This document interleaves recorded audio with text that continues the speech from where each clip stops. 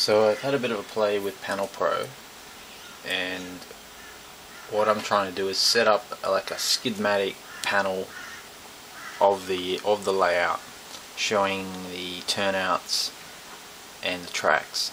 And uh, so the best way to start that is go to panels new panel panel editor. Okay and these first two uh, boxes at the top are just coordinates where you want each of the icons to come in but you just bring them in 0, 0 and just drag them where you need it. So I'm going to set the panel name as small layout.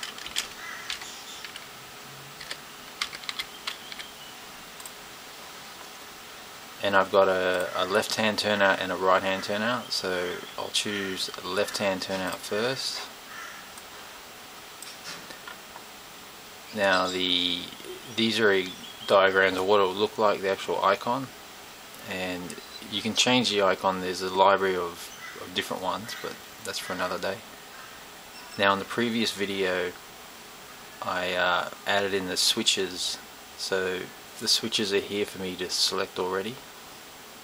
So left hand turnout will be switch 1 and I'll add the panel. I should just be able to drag that over.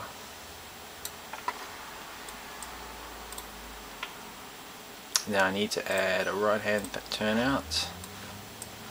That'll be switch 2, add the panel. It's the wrong way so I'll just right click on that and uh, rotate 180 degrees.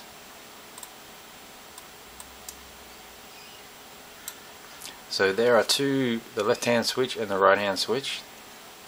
Now if I just click on them with the mouse it, you can hear in the background it actually throws switches. It's also showing, giving me an indication of whether they're thrown or closed. So I'll close both of them.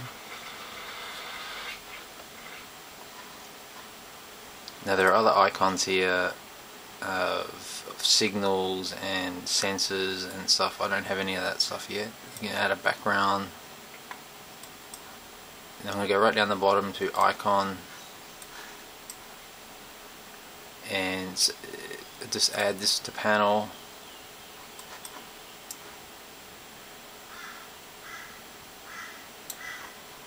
And add a couple more. This is very rough at the moment. This is roughly what my layout looks like. So I have a straight bit of track at the back uh, one switch, another switch, and then three sec sections of straight track uh, going forward. Now, uh, I need to play around a little bit more with this and see if I can refine it a bit better. This is very simple at the moment, so I'll get back to it.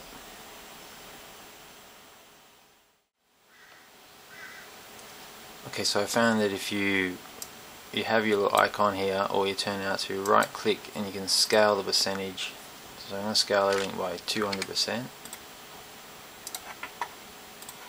and that makes everything look a little better. Let's do this last one.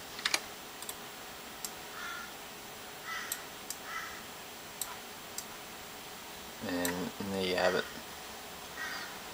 So if I just click on the icon now, it's still working.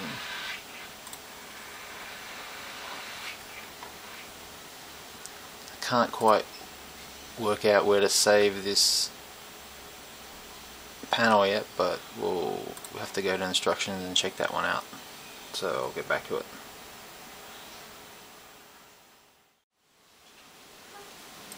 Okay so to save the panel in its raw state here you just go to your edit layer file save panel. We'll call it small layout. Override it and uh, that's about it for this video